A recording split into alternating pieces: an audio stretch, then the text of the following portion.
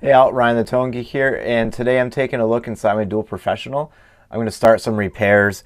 Uh, basically, uh, ever since I got the amp, the octal sockets have been a little loose.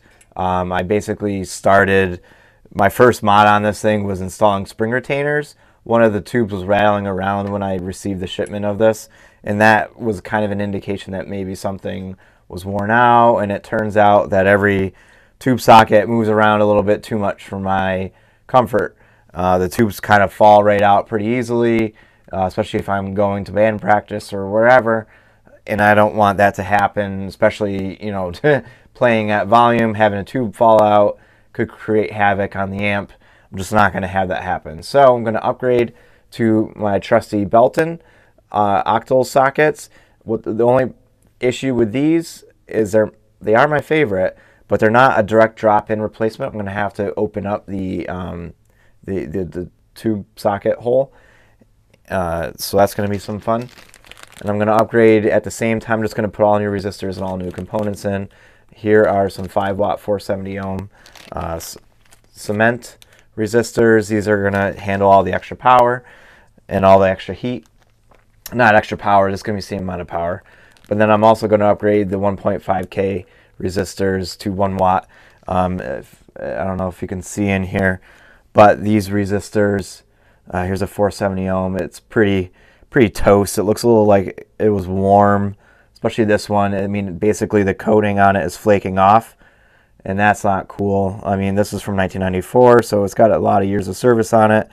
Here is 1.5 ohm. You can see, or uh, you know, K ohm. They're okay looking right now, but I'd rather upgrade.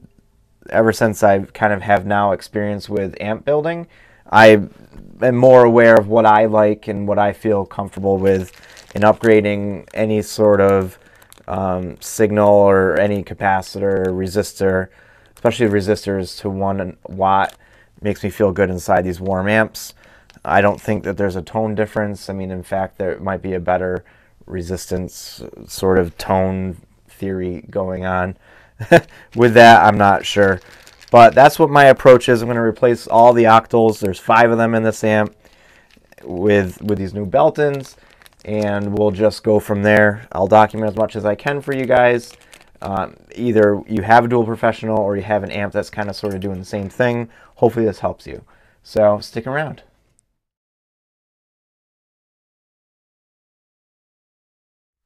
All right, so wrapping up here, basically I just kind of want to go over a little bit of, you know, is this mod for you or is this modification or repair for you? I think it is. Just take your time. Do uh, basically, I took a picture uh, and just worked one socket at a time. Just took as many pictures of how it was before I did anything, and then took out the old one, unsoldered it, dropped in the new one, and it worked out really well. The Beltons, I feel like, are a lot more secure.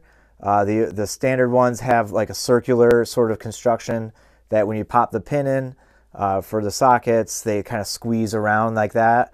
And it's just, it just started to get weak over time, expansion and all that fun stuff. The metal wasn't as good as it was when it was brand new. The Beltons hold it in two different spots. So it basically clamps together on two different points of contact. So when you squeeze it in, that's how that works. Um, I like it. Is this is this right for you? Well, certainly. If you don't want spring retainers, if you are having sort of the the loose sockets like me, or if you just want the extra security like I did mainly, that was more or less why I did this. I could have got away probably for a while with the with the spring retainers. Um, the resistors, actually, now I think about it, I think I'm really happy with going this route because the the resistors looked a little cooked. I'm not quite sure on the full uh, history on this amp but I think this is going to give me a lot of comfort at night or when I'm playing that it, it's just, you know, nothing's going to blow up. The, they look, they just looks cooked and they were ready for a change anyway. So all the, all in all, I think this was a great sort of thing that I did for my amp, taking care of her. Um, I got some cool stuff on the way. There's my deluxe reverb on the bench. So please do subscribe and stick around. Thanks.